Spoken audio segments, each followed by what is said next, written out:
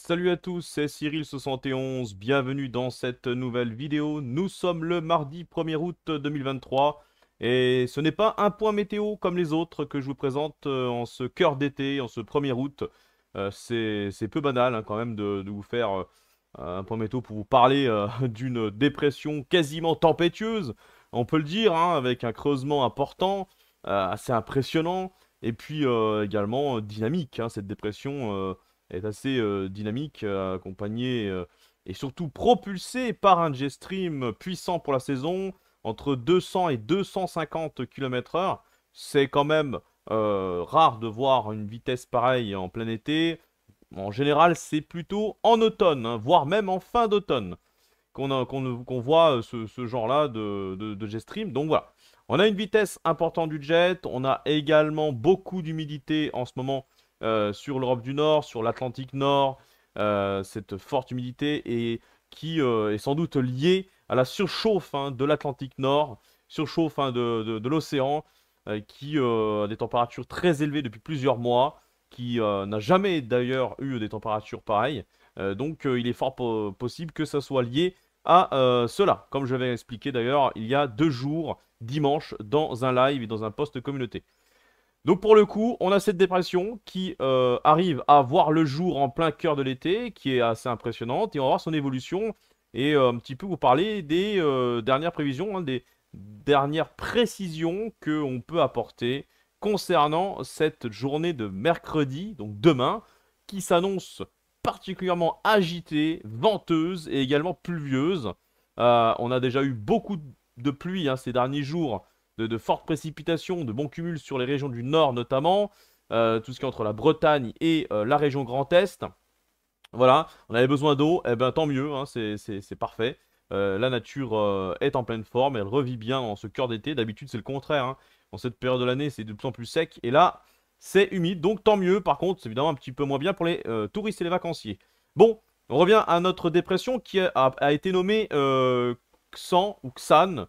Voilà, euh, c'est à vous de voir, hein, c'est XAN, euh, par, il me semble que ça a été nommé par les Allemands, euh, voilà, l'Institut météorologique de Berlin, qui l'a nommé comme ça. Donc, on va regarder son évolution. Hein. en ce moment, en creusement, ce mardi après-midi, autour des 988 hectopascales précisément à 14h30 en ce mardi 1er août. Et on va voir son, son, évolution avec le modèle européen. Et je vais vous donner les dernières rafales de vent prévues. Alors, on voit bien cette dépression qui arrive par le sud-ouest de l'Irlande, ici, où elle va continuer à se creuser d'ailleurs hein, jusqu'à un peu moins de 985 hectopascales. Alors, elle devrait pas aller jusqu'au 980 apparemment, mais elle va pas y être très loin. Hein. On serait autour des 982, 983 hectopascales d'ici cette nuit et euh, la matinée de demain.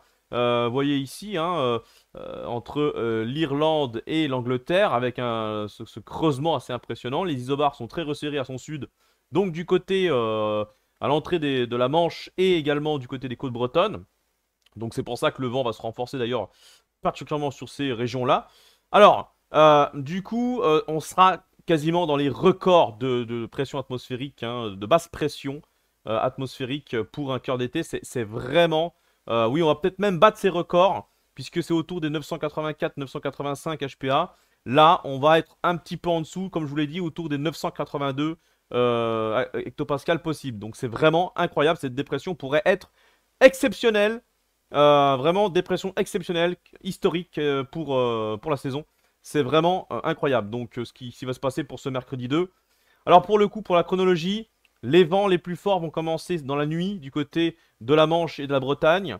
Euh, alors on attend au plus fort, ce sera surtout dans la matinée de demain pour, euh, ces régions-là, entre Bretagne et Normandie, également une partie des Pays de la Loire. Pour les côtes, on irait jusqu'à 100, voire 110 km/h.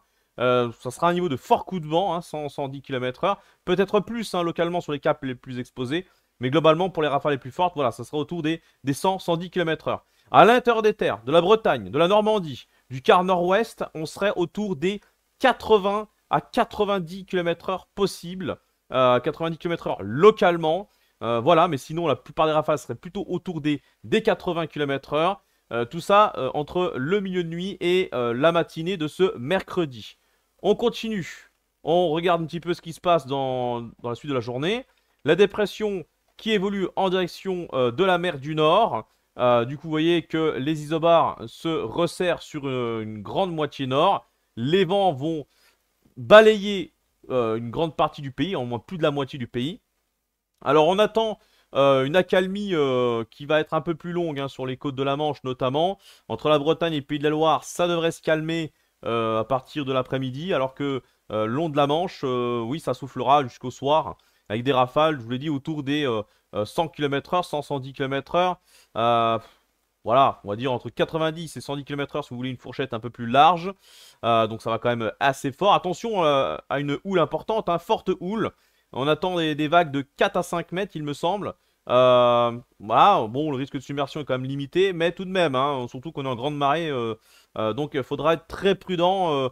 la mer sera démontée, hein, notamment la Manche en particulier, où ça va vraiment être très mouvementé long des, des côtes. Hein. donc attention, prudence à vous.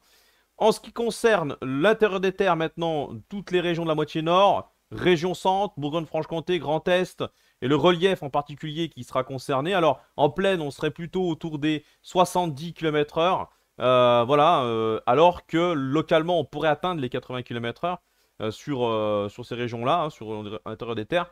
Mais sur les reliefs du massif central, du Jura, du Morvan et des Vosges, on pourrait dépasser ces valeurs pour atteindre 90 voire 100 km/h. Voilà, c'est ce qui est prévu. Mais sinon, en plaine, globalement, pour les plus fortes rafales, ça serait aux alentours des 70 euh, km/h et localement 80.